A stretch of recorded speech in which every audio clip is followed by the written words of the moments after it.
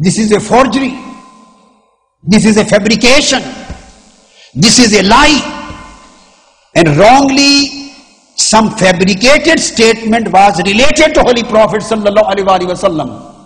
Since the person who fabricated that statement, he wrongly, he is wrongly declaring that this is hadith.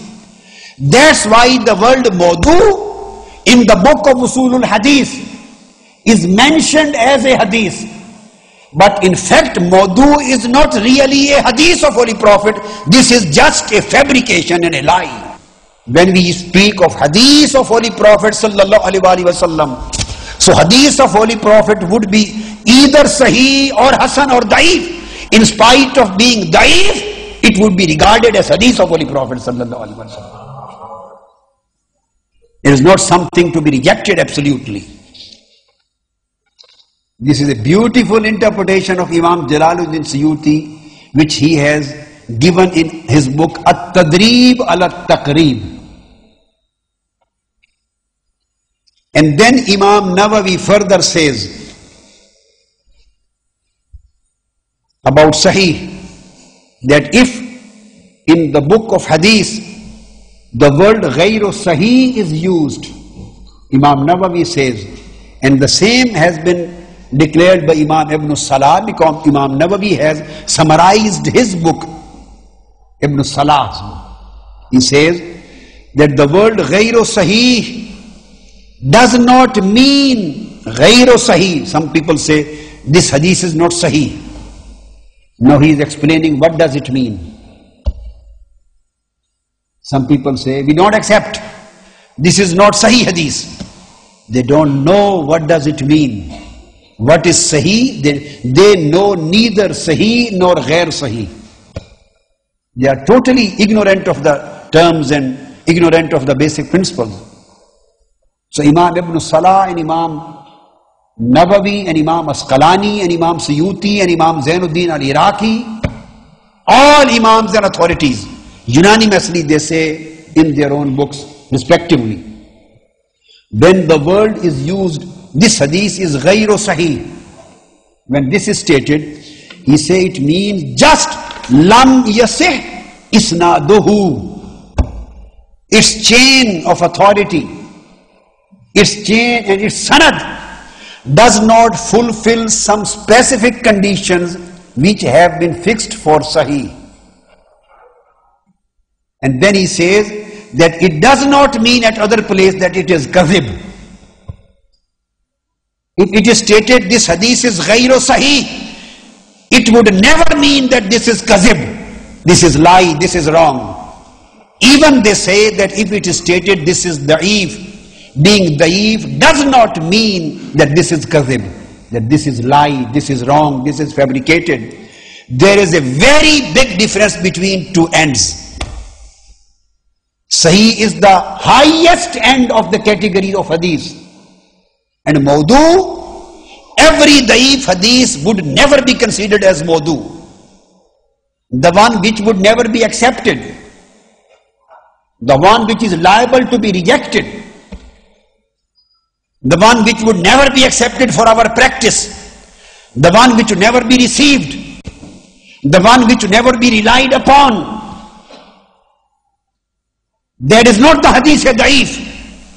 That is maudu, the fabricated one.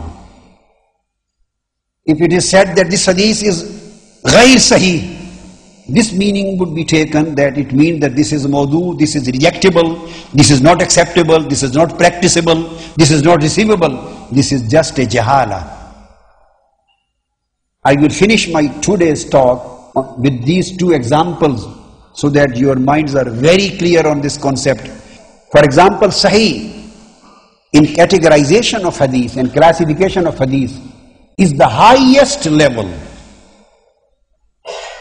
the highest level of the quality, the highest standard of the quality of chain, not the text. That is known as Sahih. This is a specific technical term given to the highest standard of the chain. Sahih. And when it is stated as, for example, The, the highest office in the governmental structure in a country is the Prime Minister's office. Is the Prime Minister's office. This is the highest office, for example, in a structure of a government.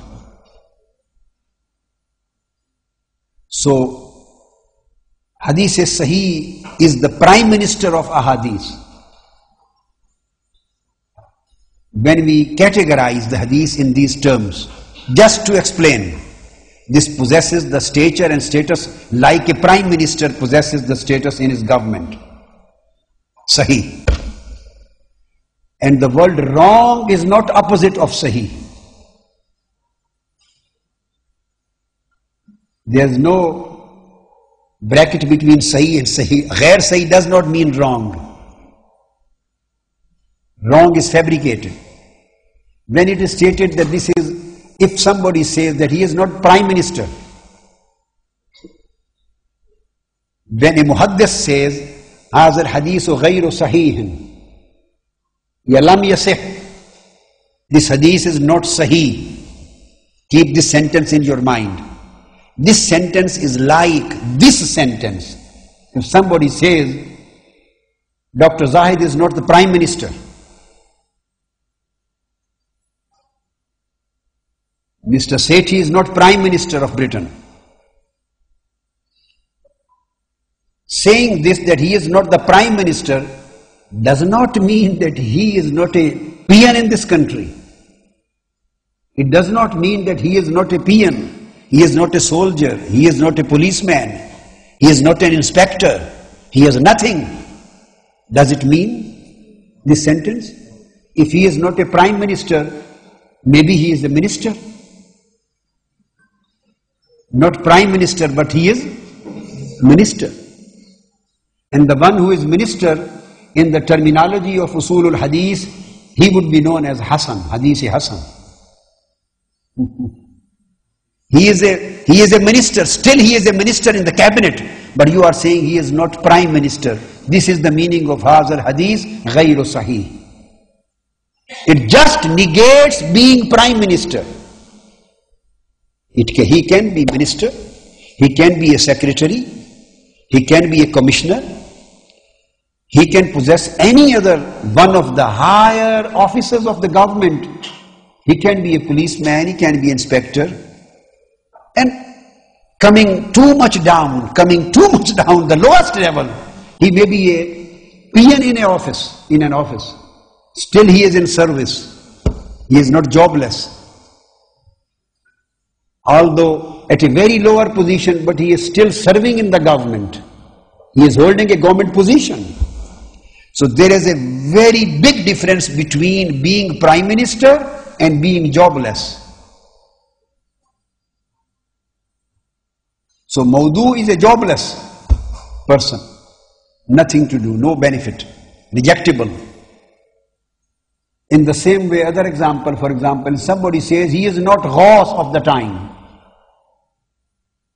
Ghaus is the highest position, spiritual position and status and rank held by the awliya. The highest rank held among the awliya.